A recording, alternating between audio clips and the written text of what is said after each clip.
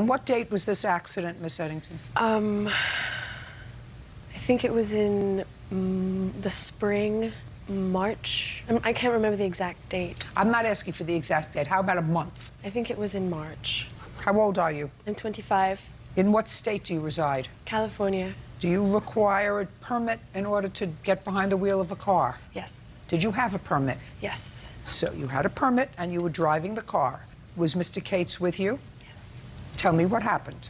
This was the second lesson that he had instructed me in. And the first time we went out. Listen to me. Yes. I don't care about the first. time. Okay, this time we went out. I was not expecting to get into Louise's car. I don't. Listen to me. We went, okay, so we were driving around No. the neighborhood. No, you were driving. Yes, I was around the neighborhood, and everything seemed fine. I was nervous, of course. Um, I was very unsure of myself, but I did everything he told me to do. And we were almost home, turning the corner.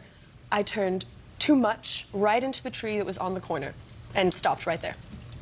So you hit a tree. Yes. And you had a permit, so you were allowed to be behind the wheel of a car. Mm-hmm. And the accident was your fault. No. Of I- course it was your fault. You hit the tree. Who hit the tree? I didn't hit the tree. You hit the tree. Don't be stupid. Huh. Don't be stupid. Don't look at me like that. Don't go like this with your head.